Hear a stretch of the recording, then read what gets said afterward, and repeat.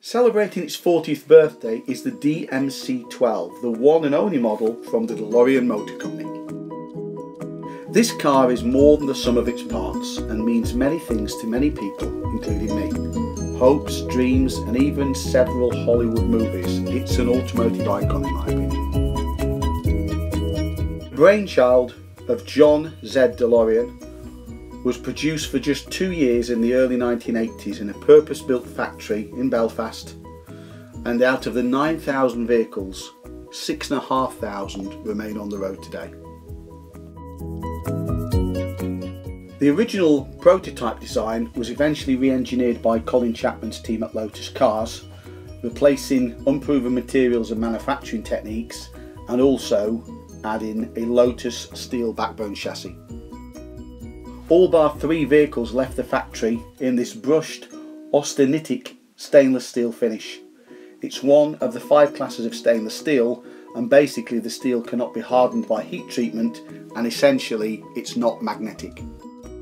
The three vehicles that did leave the factory in a non-stainless steel finish were actually 24 karat gold plated. Designed by Giuseppe Giugiaro, the wheels are in actual fact two different sizes, 14 inch at the front and 15 inch at the rear. By today's standard, the 19560 R14 front tyres and the 23560 R15 rear tyres are not that low profile for a sports car.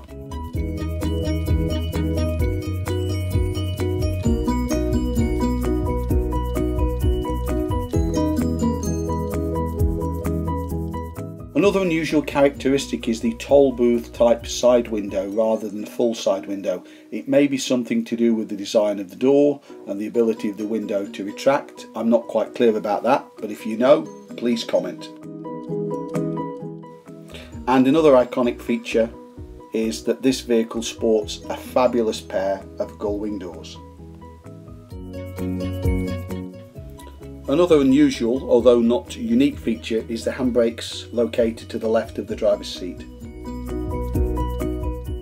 The DeLorean came with the option of either a black or grey interior and the colour of the interior is determined by the colour of the dash, the seats and the console, all of which should be the same. Parts are recognisable in some instances from contemporary Rovers, Jaguars and other vehicles of the period, using the same suppliers.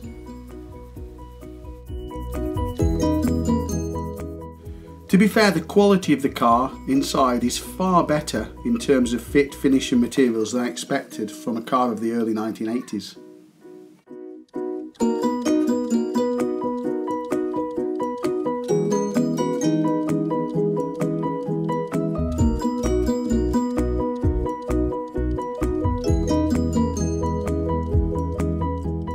The DMC-12 has a naturally aspirated 2.8 litre fuel injected engine, the so-called Douvrin engine, V6 PRV engine, PRV standing for Peugeot, Renault, Volvo, develops 130 brake horsepower but is somewhat strangled by US emissions equipment. Power is transmitted to the road uh, with a rear wheel drive configuration with a 5 speed manual gearbox or 3 speed automatic. Apparently relieved of its emissions equipment and with some tuning this vehicle in actual fact has quite a good turn of speed. Parts supply, particularly in the US where the car has a cult following, is pretty good and in actual fact it's probably easier than you might imagine to keep these vehicles on the road. As interest in DeLoreans as classic vehicles has increased then so have inevitably its residual value. Whereas at one time I seem to recall you could buy vehicles for under £10,000, or maybe that's me dreaming, certainly the ones I've looked at more recently appear to be in the order of thirty to £40,000, although probably it might be wise to look in the US to see what's available, exchange rate permitting.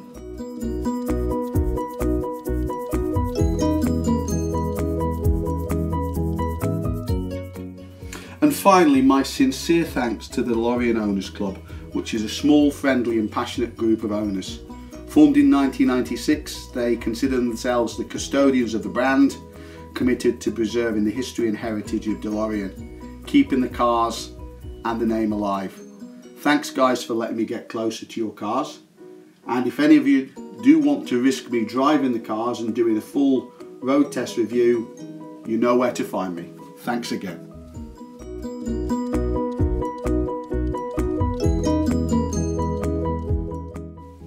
Thanks for joining me on this short tour around the DeLorean Owners Club stand at the UK National Classic Motor Show.